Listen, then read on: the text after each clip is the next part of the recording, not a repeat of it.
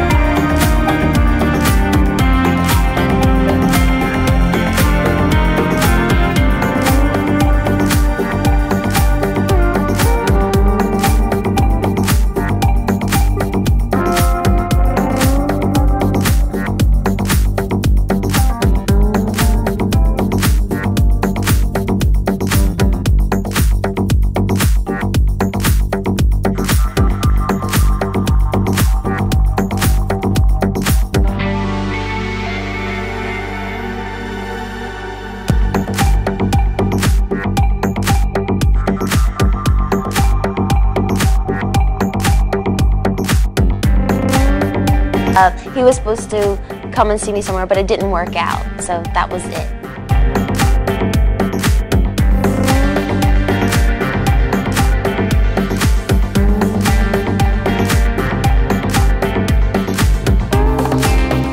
You were blown out by Prince William.